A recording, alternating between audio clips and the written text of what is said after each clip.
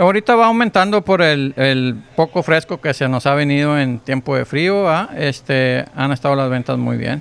Y aparte de la apertura del- de los puentes, ha traído la gente acá en el sector centro. Y se ha aumentado de periodo un 15% más de personas que vienen para acá a visitarnos. Por lo, lo que se maneja más son el cuadro rosa, las conchas, quequitos, el mollete, eh, galleta de betún, este, chinos, son los panes que se más se recomiendan.